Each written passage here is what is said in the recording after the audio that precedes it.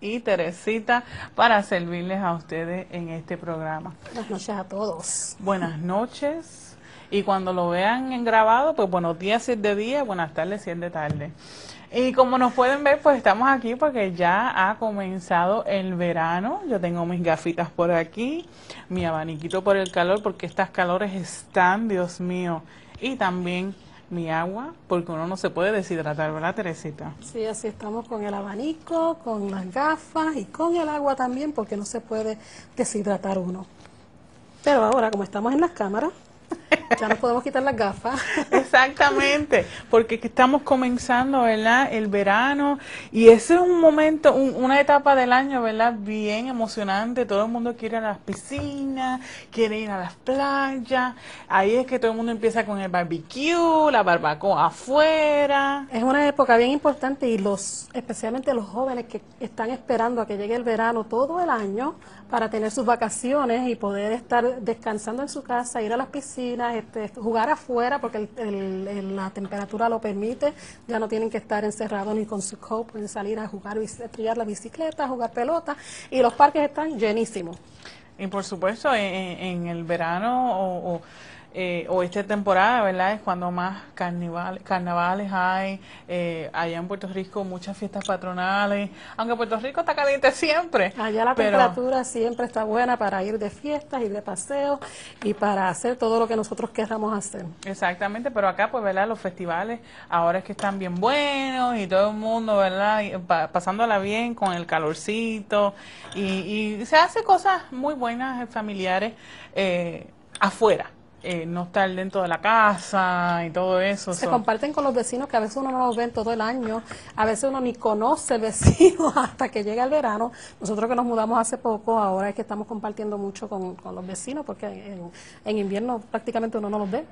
Exactamente. Entonces, hablando de actividades afuera y de las cosas que se hace, ¿verdad? En esta temporada, eh, una actividad que se celebró ahora en junio 16 eh, con la agencia Mujeres en Crisis, Birds Women in Crisis, eh, tuvieron lo que le llaman el Walk a Mile in Her Shoes. En español, si lo, si lo traducimos, ¿verdad? camina una milla en los zapatos de ella. Y esto se trata, ¿verdad?, de, de muchos hombres caminar una, una, una milla en zapatos de mujeres. ¿Y cuál es el propósito de esto? Y el propósito es que los hombres se están uniendo a, la lucha de las mujeres, a, los dolores de las mujeres, a la violencia, diciendo no. O sea, se ponen los zapatos de mujeres, o sea, muchos tacos altos, caminando como uniéndose al, dolor y, y, lo, y las cosas, ¿verdad? Todas las cosas que pasan las mujeres para ya decir no al abuso porque usualmente las mujeres son más víctimas que hombres y ellos pues esa solidaridad, perdón, solidaridad, solidaridad eh, de los hombres con las mujeres en, en estos casos. Entonces, pues tengo unas cuantas fotos esto de, caminar una milla en zapatos de, de, ellas, de mujeres, eh, no es nada más acá en, en Reading, Pensilvania o en, el condado de Berks, es algo de todo Estados Unidos. Son las fotos que tenemos, eh, no nada más son de aquí. Tengo unas cuantas fotos y para que vean que no es nada más gente normal de la calle que se pone los zapatos de las mujeres, también hay personas ejecutivos. Eh, personas importantes. Personas importantes poniéndose zapatos de mujeres caminando una milla. Eh, en solidaridad, perdón. Eh, so I have um, a couple of pictures here, por favor. ¿Ves? Como pueden ver, ahí hay hombres con zapatos, tacones eh, altos. No podríamos decir lo que son porque como tiene, no enseñan las caras, pero sí son hombres. Pero si miramos por las piernas y las ropas, la vestimenta, como por ejemplo que está en el medio, ya tú sabes, la, la tienen hasta la, la barriguita ahí de, como de cervecita de, hombre. Míralos ahí. Ahí sí los podemos ver, todos tienen los mismos zapatos. Los zapatos, y mira, todos de, de color rojo, pero sí es algo que los hombres, ¿verdad? Pues se unen a, las luchas de, todas nosotras las mujeres. Y míralos ahí los, ejecutivos. Que eso es algo, ¿verdad? Eh, señoras y señores, pues que no, no se da todos los días. Y, y e, es muy bueno que ellos se unen al, al dolor, ¿verdad? Y la lucha que tenemos eh, nosotras, las mujeres, en, en, en cuestión de decir no al abuso por ejemplo, en esa foto que tenemos ahí presente, lo que ellos están eh, aguantando en su mano es un símbolo que se llama no más, no more. Ese es el símbolo de la unión de decir no al abuso sexual y al abuso de violencia doméstica en, en de las mujeres o del mundo. Eh, ese, ese símbolo que estos ejecutivos estaban eh, sujetando en sus manos es el no more o no más a, la violencia. Y eso pues en Mujeres en Crisis acá lo celebró en junio 16 y empezaron de, allá donde está el, el, los outlets del BF hasta acá Penáveno, eh, caminaron una milla completa y ellos ahí ya Es que es difícil porque para nosotros se nos hace, o sea, a mí me gusta mucho andar en tacones, pero esas que enseñan en esas fotos, que son de esos que son como bien los puyuitos, puntiagudos. puntiagudos al frente, yo no me puedo poner eso, yo no puedo caminar con eso porque eso me aprieta el pie. Yo no sé cómo ellos lo hicieron, caminar tanto así, pues los felicito y de verdad este, a la agencia también por este, crear conciencia de esa manera. Exactamente. Entonces, pues hablando de hombres, con zapatos de mujeres, vamos a los días de los padres. Oh, ¿Verdad que sí? Que el Día de los Padres se celebró también este mes y acá en Estados Unidos pues se celebra el tercer domingo de, de junio y eh, pues este, este año eh, cayó en junio 17. Pero hay algunos países eh, latinoamericanos que lo celebran en diferentes fechas y ejemplos son España, Bolivia, y Honduras lo celebran el 19 de marzo. ¿Y por qué el 19 de marzo? Y el 19 de marzo, señoras y señores, porque en honor al Padre Mayor. O sea, el Padre de Jesucristo. Biológico. O no biológico, el físico. el físico, sí, porque biológico tampoco fue. el Padre físico de nuestro Señor Jesucristo, José, San José, que este casualmente ese es el día del nacimiento de él, ¿verdad? Ese es el día. Eh, que se, o sea, el día que se celebra, el día de San José, es el 19 de marzo. De marzo, sí. Por eso es que se celebra el Día de los Padres en esos países en honor a, a San José. Y es una cosa tan bonita como San José. San José es una figura bien importante porque San José de verdad sabía que la Virgen estaba embarazada y que no era de él. Y él la acogió y acogió a su hijo y crió a Jesucristo sabiendo que no era su hijo. So, muchas veces pensamos, este, este, qué sacrificio hace la gente, pero miren ese ejemplo de padre que no es padre, que dicen que es padre o, madre y no son los que los que hacen, sino los que los que crían. Los que crían. Pues este, él crió y cómo lo crió, qué clase de persona fue Jesucristo por la crianza que le dieron sus padres. Exactamente, entonces tenemos unas, unas pequeñas fotos también de, San José, eh, por supuesto pintura eh, con, con el niño Jesucristo. We have some pictures that we would like to show also de San José, ¿verdad? Que, que eh, en honor a él es que celebran en Honduras, Bolivia y, y, España el 19 de marzo, el Día de los Padres. Y tenemos ahí a, José, ¿verdad? Una foto muy bonita de, cómo debe ser un padre, ¿verdad? Porque eh, un padre no es eh, que está simplemente disciplinando, también está ahí dándole cariño, apapachándolo, agarrando, alzando al niño, cargándolo, Mira, mira qué bonito. Qué bonito. Y, y, un padre que, que de verdad él no fue el que lo engendró y que él, él, acogió a la madre y al hijo como si fueran suyos. Hoy en día hay muchas personas que hacen eso. La crianza que él le dio a ese niño para que llegara a ser lo que fue. Exactamente. Y entonces, eh, vamos entonces, en República Dominicana, ellos lo celebran también un poco diferente, lo celebran el último domingo de julio. El último domingo de julio Guatemala y El Salvador lo celebran el 17 de junio, igual que, nosotros, eh, como este año. este año le pasó igual. Pero le pasó igual, pero usualmente siempre es el 17 de junio. Y algo bien interesante que nosotros encontramos, señoras y señores, es que en Cuba no celebran el Día del Padre. De verdad, eso nosotros lo encontramos y, si hay algún cubano escuchando y, quiere aclararnos esto, pero lo que nosotros encontramos fue que eh, en Cuba no se celebra el Día de los Padres y dice que sí se celebra el Día de las Madres. Así que si algún cubano, ¿verdad?, está escuchándonos y nos puede aclarar esto, porque nosotros no estamos seguros, nosotros estamos hablando de lo que encontramos en la, en la internet, que es donde que es la fuente que nosotros tenemos y eso pues como que nos chocó un poquito. Exactamente, yo cuando cuando vi que decía que eh, en, en Cuba no se celebra el Día del Padre, yo dije, espérate, pues entonces celebran el Día de la Madre o no? Y entonces sí, celebran el Día de la Madre el segundo domingo de mayo y, y pues me estuvo un poco chocante que no se celebre el Día del Padre y entonces pues, ¿verdad? En Nicaragua lo celebran en, en junio 23 Eh, así que eh, Nicaragua estuvo celebrando ahora hace poquito eh, el Día de los Padres. So, felicidades a todos los padres de aquí del condado de Berks o cualquiera que nos están mirando, ya sea por la internet, televisión o lo que sea. Felicidades a todos los padres porque es una labor de verdad que no es fácil. Entonces, si, si vamos a mirar la, diferencia, Teresita, de cómo nosotros como, como cultura hispana, eh, ¿Qué es un padre en la cultura hispana y qué es un padre acá en la cultura que nosotros, ¿verdad? Estamos uniéndonos acá, aculturándonos acá en Estados Unidos. ¿Cuál es la diferencia? Si es que hay diferencia, eh, ¿verdad? Desde el punto de vista de una madre, eh, ¿cuál es la diferencia en, en un padre en la cultura de nosotros, los países de nosotros, hispanos, de los de acá? Pues este, es bien diferente, aunque las cosas han ido cambiando porque la influencia de los países externos eh, que vienen a los países este, hispanos, pues hacen que influencia, traen influencia y van cambiando.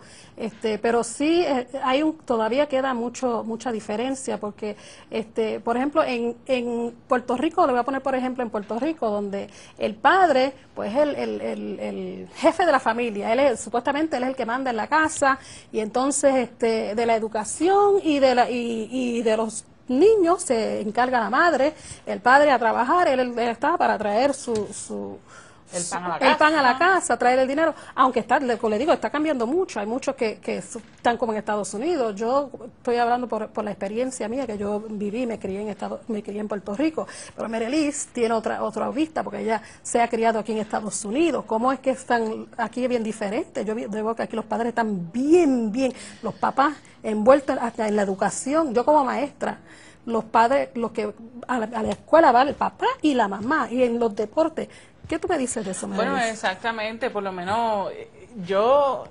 tuve la mayor parte de, mis primeros años escolares eh, en, Puerto Rico, eh, pero entonces vamos a a una pequeña pausa y cuando regresemos, pues yo doy mi opinión sobre la diferencia de los padres en, en nuestros países, en este caso en Puerto Rico, pero una pausa y ya regresamos, así que no se vayan.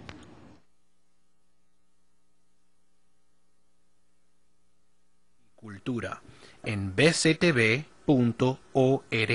Manténgase informado, manténgase envuelto, hágase miembro. Para información de membresía, vaya www.bctv.org.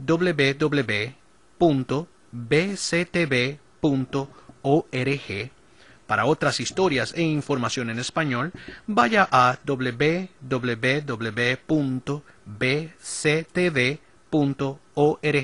y oprima Noticias en Español. Y bienvenidos nuevamente, aquí estoy nuevamente con mi abaniquito, ¿verdad? Porque las calores ya vienen por ahí, ya estamos en verano. Ay, sí, el calor está bien insoportable. Aunque está lloviendo también, que ahora cuando veníamos estaba lloviendo, el clima está loco. Está bien loquito, ¿verdad? Pero nosotros hacemos lo que se puede. Si usted no puede comprarse un abanico o un aire acondicionado, mira, en el Dollar Store, se busca. Exactamente, Dollar Tree. se busca su abaniquito de mano. Eh, pero entonces estamos hablando, ¿verdad?, de los padres y la diferencia en, nuestra cultura hispana, en nuestros países. Acá, yo, por ejemplo, yo me crié en mis años, mis primeros años escolares en Puerto Rico y con mi papá allá en Puerto Rico. Y la verdad es que sí, en Puerto Rico los padres no están muy envueltos en la educación eh, de los niños porque ya eso es algo más de la, de la mamá. Eh, no, no, no van mucho a las actividades de honores, las graduaciones. Las reuniones de padres casi siempre lo que está son las madres, que uno debería decir las reuniones de madres. Estoy hablando como maestra, que yo trabajé 20 años como maestra en Puerto Rico también, pero este, yo sé que las cosas han ido cambiando, los padres ahora se están, por la influencia, están involucrándose un poquito más. Exactamente, entonces pues Sí, por ejemplo, cuando yo me estaba criando allá, pues casi todos los padres, pues e, ellos trabajan, traen el pan a la casa y se encargan de la disciplina en la casa. La mamá, pues es la que, la que los apapacha, le enseña amor, cariño, le da comida, le da comida, es la que limpia y todo eso. Pero entonces cuando llegué acá, yo veo que los papás andan con los niños en todos lados, lo agarran de la mano, los llevan a, las clases de, música, los llevan aquí, los llevan allá y están bien envueltos en todo lo que tenga que ver con la educación de los niños. Es bien diferente, y pero es como tú dices, Teresita, las cosas cambian, están cambiando y hay muchos papás, ¿verdad?, que se están envolviendo mucho más en la educación de sus niños. Y como teníamos a San José en la foto, el cariño, ese amor eh, que dan los papás, porque es bien importante. Siempre, casi siempre que hay niños que vienen con problemas, adolescentes grandes, cuando tú miras atrás y que no se criaron con un papá en, su vida. Muchos problemas sociales, este, casi siempre la raíz vienen a raíz de eso que se, eh, hay mucha madre soltera criando hijos y no es fácil. Eh, felicidades a esa madre porque es su día también, el Día de los Padres, porque son madres y padres y ellas este, hacen lo que pueden, pero no es lo mismo. Hay una figura paternal ahí. Siempre se hace lo que se puede porque yo también fui madre soltera. Exacto. Pero este no es lo mismo. Siempre falta esa figura, aunque mi papá siempre estuvo ahí, que es el papá de los hijos míos. ¿Es así o no es así? Es así, este, don Samuel, que en paz descanse, ¿verdad? Como le, yo le decía, papá Samuel. Decía este, Samuel Ortiz, dueño, dueño de apellido y de lo poquito que tengo. de lo poquito que tengo. Pero sí es bien importante, ¿verdad? Eh, eh, esa figura paternal en la vida de, los niños y porque les ayuda a crecer, les ayuda a ser mejores personas en, el futuro. Pues yo tuve la oportunidad de tener mi padre, ¿verdad? Cuando fui creciendo y luego, por supuesto, a mi abuelo. Y yo sé que hay muchas personas eh, que desearían tener, por lo menos, haber tenido una figura paternal en su vida y no han podido tener eso. Este, tenemos una persona llamando, so adelante, please. Um, who's calling? Hola. Bienvenido. Sí, buena, les habla Pedro. Lo estoy viendo aquí en el programa, en la televisión. Pedro, adelante, bienvenido Pedro, cuéntanos, ¿qué nos puedes decir? ¿Qué tú crees de los padres? ¿Eres padre? Lo que pasa es que quería este comentar sobre cuando están hablando sobre la, la diferencia de los padres hispanos y la diferencia de los padres americanos. Y yo creo que, como dicen bien ustedes, realmente es algo totalmente cultural. A los hispanos se nos enseña, a los hombres, que no se puede demostrar las emociones, como que la parte sensible, eso es lo que le toca a las mujeres. Entonces, este, a los americanos no, los americanos pueden ser sensibles, pueden mostrar emociones, y entonces por eso son más cariñosos con sus hijos. Ahora, eso no quiere decir que nosotros como hispanos no queramos a nuestros hijos, pero este sí pues se nos hace un poquito más difícil demostrar este y externalizar esos sentimientos que tenemos Sí, porque desde pequeño los tienen, que las nenas son las que pueden jugar con las muñecas y los hijos pueden jugar de papá y mamá, pero entonces los nenes no pueden porque entonces los nenes son afeminados y están con un muñequito. Y ellos pueden jugar de papá. aquí aquí no, aquí, aquí yo veo que los varones tienen sus muñecos, sus hijos. Ellos, Exactamente. aquí se les permite, se les permite pues externalizar esas emociones y esos sentimientos. Pedro, este, y tú como padre y como hombre, eh, tú hablando de que es, mm, ¿verdad? Culturalmente es difícil enseñar las emociones. Tú vives acá en Estados Unidos, ¿verdad? Exacto. Eh, ¿se, ¿se, te hizo fácil aculturarte o, o todavía estás en la cultura hispana? Pues la verdad es que este, no importa cuánto tiempo uno lleve en otra cultura, siempre la sangre de uno una la tiene. Y pues sí cuesta un poco de trabajo tratar de aculturarse a, un pueblo nuevo.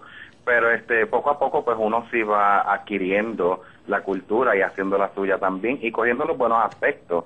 Y eso definitivamente es un buen aspecto porque ser buen padre y demostrar que eres un buen padre es algo que a todo el mundo le gusta, especialmente los hijos que saben que pueden contar con uno para cualquier cosa.